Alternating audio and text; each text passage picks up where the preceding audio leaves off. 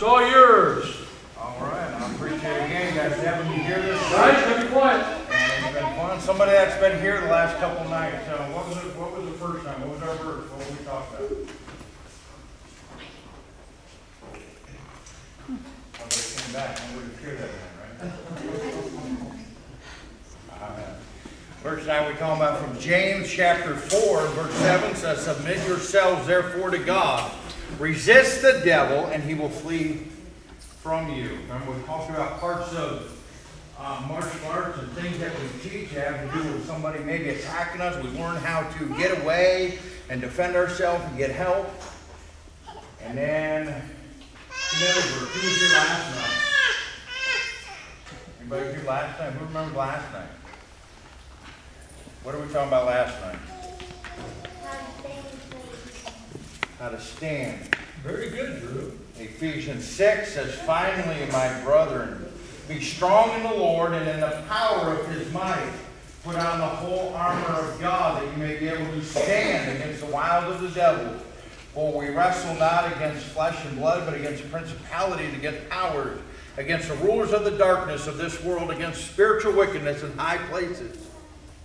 I'll stop there. We talked about standing. Everything we do in martial arts has to do with what we call our stance. In other words, this is how we stand and, and where, our, where our feet are and, and, and how our body works and everything work together. Tonight, I want to look at a little bit different area of, we're going to do a little few different things tonight, but, but I want to talk about somewhat what we call where power comes from. Not only we learn how to stand, we learn how to do some things fast. We did the first night. And we're going to see a little bit more tonight, kind of a review, if you will. But we're going to look at, uh, there, has anyone ever stopped to think about, now let, listen to what I'm saying. Ever take time and stop and think about the power that God has? Okay. I mean, who can tell me, how, how did God create the world? Somebody tell me, how did, we, how did God create the world? He just spoke, didn't he? He said, let there be light, and there was. I mean, All God had to do was speak. That's a pretty powerful God. And when we look at the, the power, we're not, uh, Aaron, God, I want to show you something in the book of Isaiah, chapter 48, verse 13. God said, My hand also laid the foundation of the earth, and my right hand spanned the heaven. When I call unto them, they stand up together. What God's saying is in the Bible, a span is the way they used to measure. From my, from my thumb to my little finger is a span. God said, My right hand has spanned the heavens. That's a pretty big God, isn't it? God can look up and his hand covers the heavens. And he said, when I, when I speak to them, they stand up. God can control the universe just by speaking.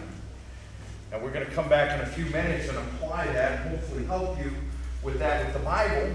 But tonight, as far as our, our, martial arts and karate, we're going to show you a few different things tonight. Being the last night, we want to have a little fun. Some of our famous power. Uh, John, in a moment, is, is going to break. Uh, we got six, uh, six bricks here. John's going to break. And I'm going to do a bigger stack, some big bricks. I got some bricks about twice that size. We're to break a bunch of them in a little while. We'll show you some other things in the process too. And uh, have a little bit of fun tonight. And then hopefully learn something about God. If you let us. Sorry.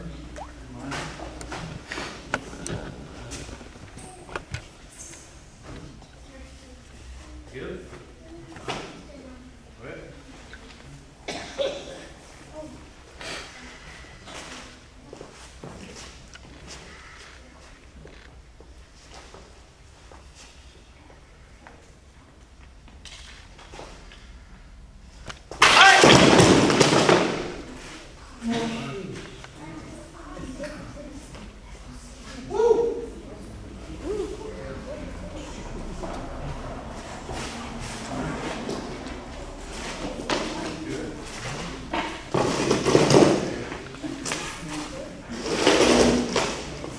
Notice when he did that, we talked about, we can learn what, what karate is and fight. You see things on TV, I don't like comparing TV and all movement, not always real.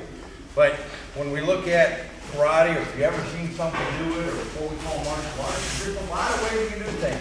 You learn how to protect yourself, and learn how to do things with a lot of power. And uh, we'll look a little bit at that tonight. Just moving a few things out of the way. But uh, next, next we're going to show you, kind of in a fun way, we're going to show you some, remember the first time we did some what we call self-defense. What if somebody attacks you? What if someone's trying to hurt? And uh, we're just going to have a little bit of fun with uh, showing you, um, just showing you a little bit of that.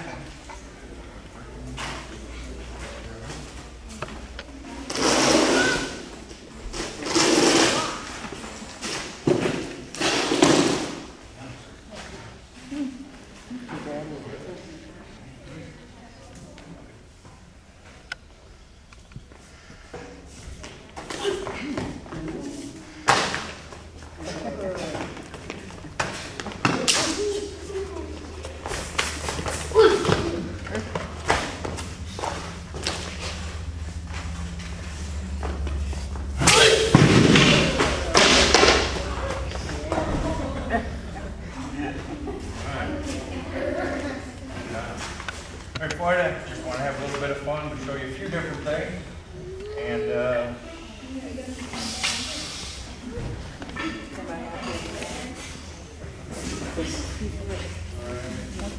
we'll get them setting up something in a minute and show you. They see all the different aspects of That hurt because he was out there do in opening karate. his elbow. Everything from little stuff, we can disarm a gun, disarm a knife, but also a pound. He felt that one.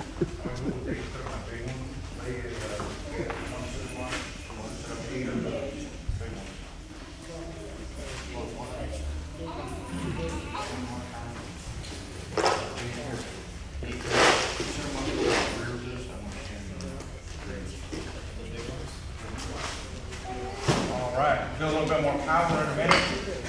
Real quick, I'm gonna give you, so especially you've been here a couple nights, anybody was taking that a lot of time? Anybody got any questions about what we do? Something we taught on, something you've seen, something, anyone got a quick question? Yes, sir. Uh, that comes from a lot of training and, and practice and practice. I was twelve years old when I started practicing karate. I've been doing it a long time. So like anything in life, you play try you gotta practice on it. Gotta keep going, get better, get better.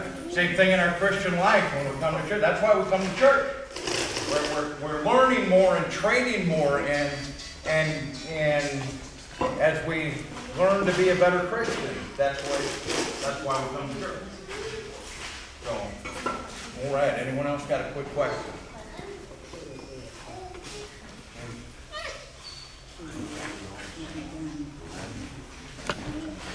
Okay. All right. Any other questions? All right.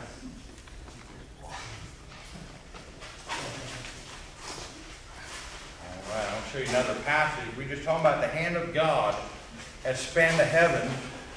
I want to. I'm going to show you a place where we're help somebody, and uh, we're going to do some more skills, some fun stuff in a little bit.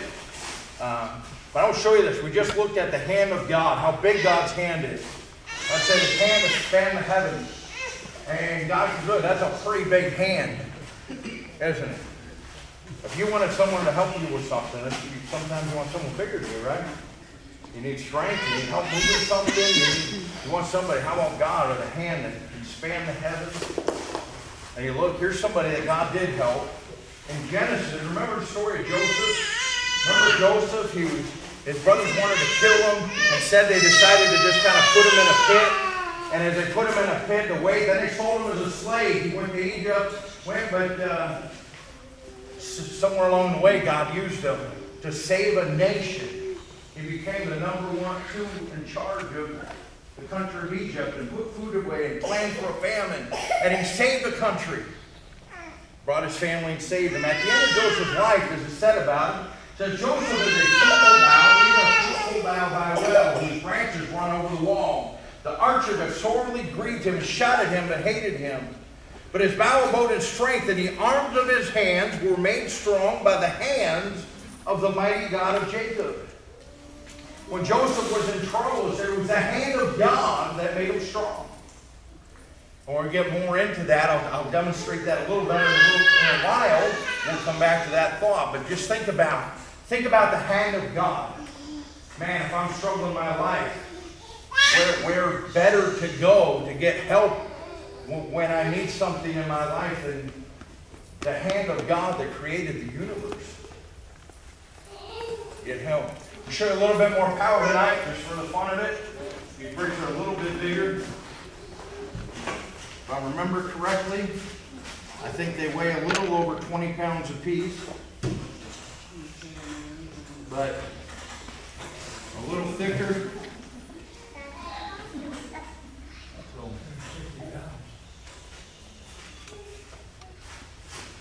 I'm feeling good. Give me two more. Get the stick. Give me two more. That's not big. Pastor John, that's hundred and sixty pounds of block on there already.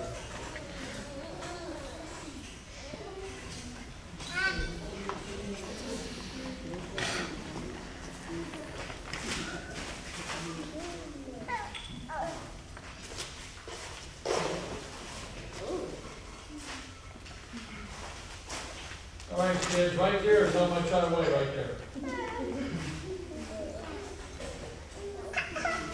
They're gonna break me in half.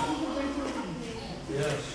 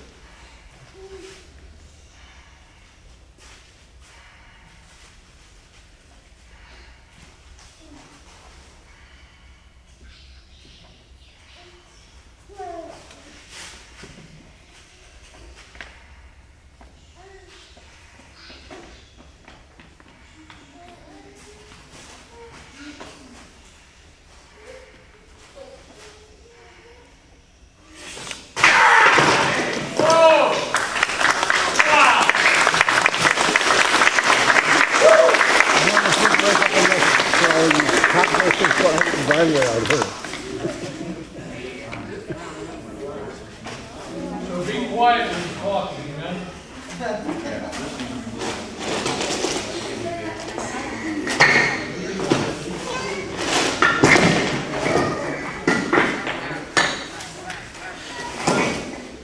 Glad that worked. I never did that before.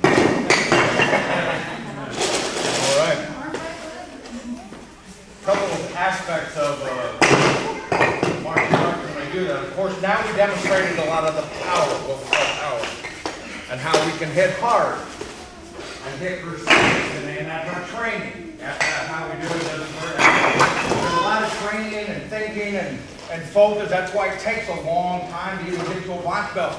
You know, Christian, you're, you're not going to, anybody here, I don't know anybody, anybody here perfect yet? You know, when we try to live for God, you know, we're never going to be perfect. We're in this whole world. But God, what God did is He sent His Son to die on the cross for us.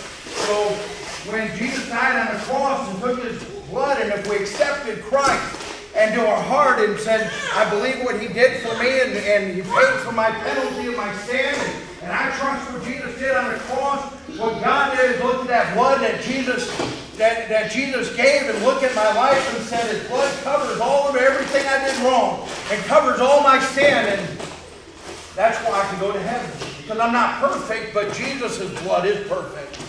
And Jesus' blood is what God sees when He looks at my life. But guess what? God said, now that you're part of our family, God said, hey, I want you to show the world that you're mine. I want you to show the world that you belong to me. And the way he does that, he says, you know, I want you to not hang around the world. Don't listen to the worldly music. Don't, don't do what the world does. You need to live a little different. And in order to do that, He gave us, He gave us His Word, He gave us the Bible. And then said He gave us the Bible to read for ourselves. And then He gave us a church and a pastor so they can help us. And that's kind of like what it it is martial arts. You know, it took me over five years to get to my black belt. We think that's the highest rank as far as the belt we wear, but re- really, when I got this black belt, I was just kind of getting started. Now I learned all the simple stuff. I learned all the all the all the all the ways to do things, and and now I can start putting it together and getting good at it. I've still not learned everything. There's still a lot out there to learn. And that's just like it is for living for God. Is if you're saved and on your way to heaven, that's the first step. getting in God's family. But then you come to church and be faithful and, and learn how to grow. So I preached a sermon one time talking about being a black belt Christian. And you can get there, but you have to keep training. You have to keep coming. So I need to be closer underneath the brick to cover the whole the glass. The thing. So, another aspect of martial arts that they're setting up right now is, along with the power, is martial arts is based on very precise techniques. I'm not going to get into a brawling match and see who wins by beating each other up and who gets tired first. Martial arts is designed to be very specific and very precise. Just for fun, next one I'm going to do here is I'm going to break. I'm going to break this flare. Of course, you see it setting up here. I laid it across a couple glasses, just for the fun of it.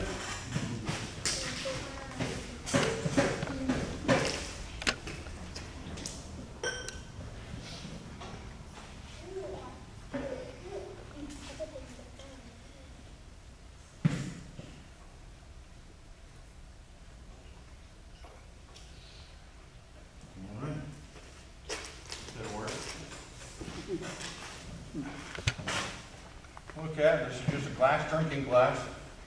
Actually bought it at a thrift store. Don't want to spend too much money in case I break it. But it is glass. Of course, it could break. Could break and make a mess. Could break and go through my hand. See what happens. I have broken glasses in practice, so this isn't. Hopefully, it goes well and looks good. But uh, I want to see it. We're gonna get. We're gonna attempt to break this just with a glass.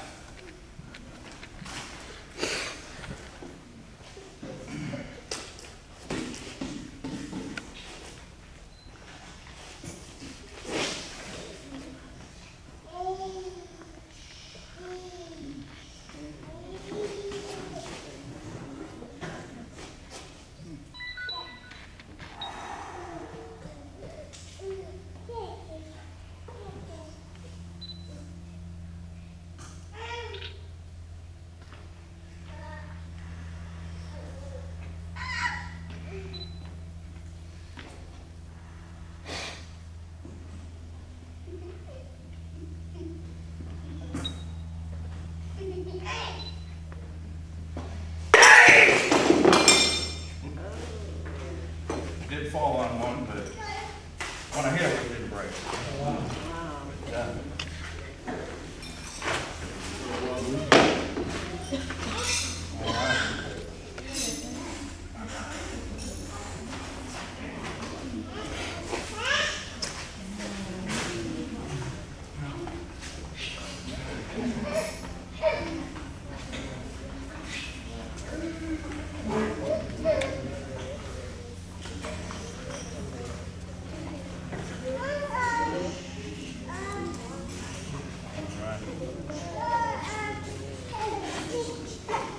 All right, think about it.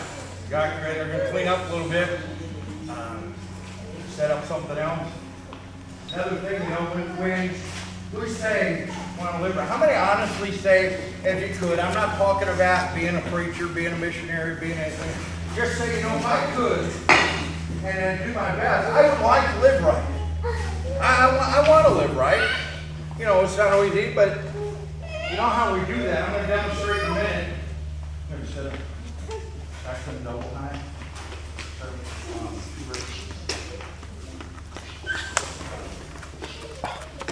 The, uh, that want to live right, but maybe we don't always know how. Maybe we're not always sure what to do. Maybe we're not always sure what it is. You know, just like I read in, that passage, we don't look to God first. God's the one that wants to help us. He sent his son to die for us. That's how much he loved us. But sometimes things are tough. We just read that passage about Joseph. Man, how about a hard life? Man, being sold by your own family into slavery. Man, being put in prison for something he didn't do. All these things Joseph went through. Everything that Joseph did and all that, he trusted God. And when he did, it was the hand of God that lifted him up and gave him that strength so he could do what was right. We're going to demonstrate that here in just a moment.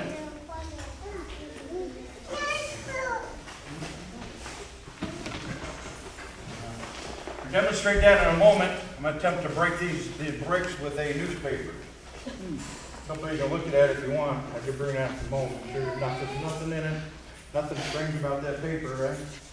Just a newspaper. Um, but here's the thing. This paper by itself isn't that really a match for the. I think it's all right. You good? You know, this paper isn't going to do much against this concrete, is it? I mean, so just paper, right? But if we allow God to keep control of our life, if we allow God to say, God, whatever you want to do, then maybe I can't make it. I can't, I can't get through that. There's nothing I can do by myself. But you know, if we allow ourselves to go to be used by God's hand and let God's hand have control of our life, God can do amazing things with us. And sometimes it hurts. Sometimes it says, you know, we want to do something great and let God use us, but sometimes God says, in order to do that,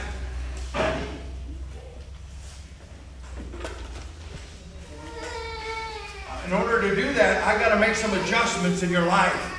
Maybe there's something in your life that God says, you know what?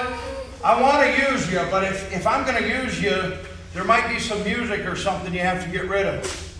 See, my problem right now is I am going to break them bricks of that paper, but right now this paper's too thick. I can't use it the way it is. And God says, I want to use you. You said you want to be used, but sometimes maybe there's some friends in your life or some, somebody you shouldn't hang around that, you know, you need to get rid of that in your life. And God said there's some things in your life that you know are wrong and, and sin and your pastor has preached on and, and showed you from the Bible and you need to get rid of these things in your life before I can use you the way I want. And then God says, now you got some of that stuff out. Now let's get the good stuff back in. And God says, I need to mold you. I need to make you the exact way I want you to be. And we keep coming to church and keep learning and keep reading our Bible. And as we allow God to mold our life and put, let God put our life the way He wants our life to be, and let God have complete control of where we're at in life, then He can do amazing things with us.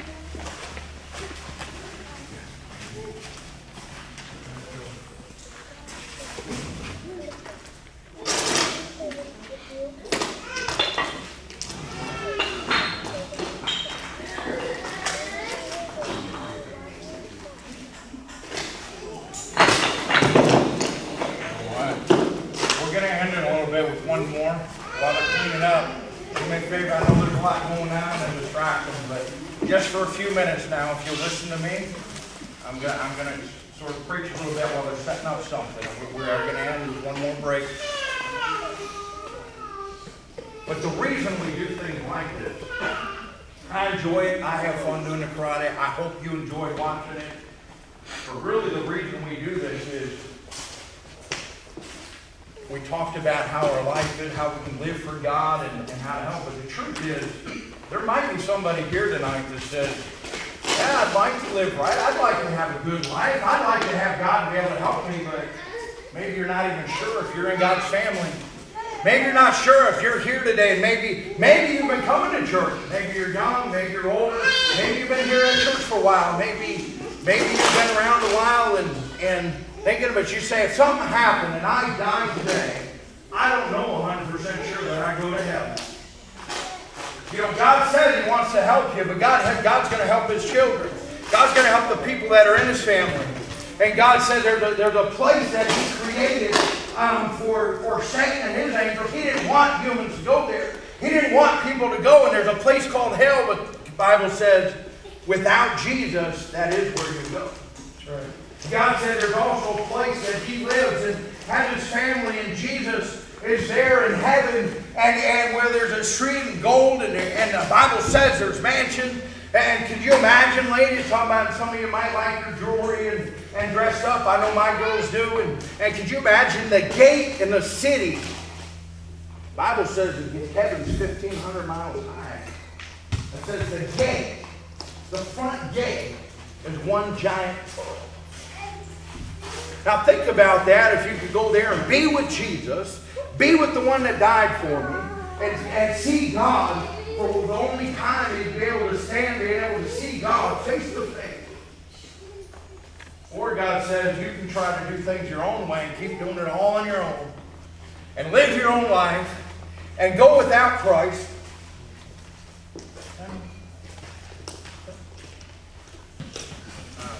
You can keep doing it all, all by yourself and say, I'm going to work to heaven. I'm just going to be good. I'm going to keep doing what I want to do. And God says that place without Christ, there's a place called hell. That the Bible says not a fun. It says it's dark. You can't even see. Have you ever been in a place that's so dark you can't even see your hand of your face? That's kind of, it, it's a weird feeling being able to almost feel darkness. But on top of that, the Bible says there's a place, a place of fire. That it says will never be quenched. It'll never go out. And all about, I mean, horrible, horrible things, and the list goes on. And, and think about the screaming of the kind of people that'll be there, the people that knew better. I think some of the loudest screams in hell will probably be the one, I can't prove this a Bible, but probably be the people that sat in a place like this and heard the Word of God and said, I could have accepted Christ, but I didn't. I can't imagine being in a place like that. But God said there's a way out. And that's why we have meetings like this, to give you that opportunity. To give you a place that you can come and hear the Word of God and say, God gave you a way out. Jesus died for you so that you can go to heaven. Jesus loved you so much. Could you imagine having to have a penalty? What if you were sentenced to prison for, for life or sentenced to a death penalty and somebody else stepped in and said, That's okay, you can go free and I'll die in your place? I don't know if that, if that happening too much in our country, but that's exactly what Jesus did for your eternity. Hell is real. The Bible even gives an account in Luke of a man that was there and was able to tell us from hell. He said, Go get somebody to tell my family so they don't come here. That place is real. But God said, Hey, I'd rather you were with me. God wants you in heaven. Jesus died so that you can go to heaven and not have, and He did it for free. He said it's a gift. All you have to do is accept it. I just want you to think about that thought. As we end in a few minutes, I'm going to finish with something here. I'll speak for a moment. But I want you to think about where is your eternity? Where are you headed? I don't care how young, how old you are. We don't know what the future is. What if you die tonight? Where would you be?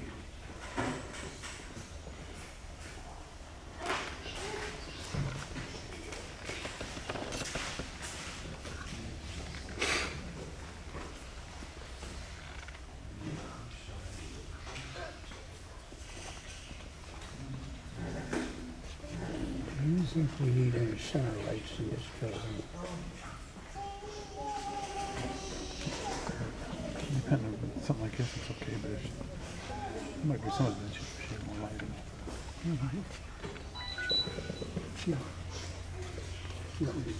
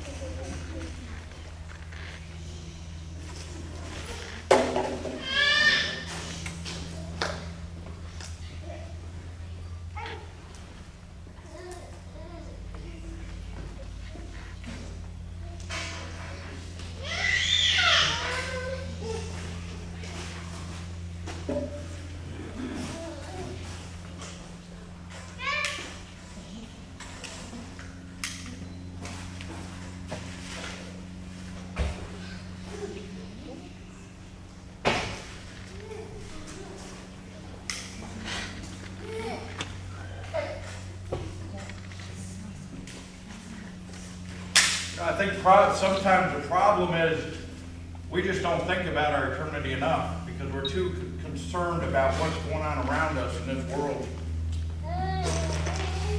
But hell is real, and God would rather have us in heaven. But also, Christian, what if you're here tonight and you say, you know, I know I'm saved, I know I'm on my way to heaven. And when was the last time you told somebody else to help keep them out of heaven? You know, there's only one escape. There's only one way through this, and that's through Jesus Christ. But I just wonder, if something did happen to you tonight, where would you be?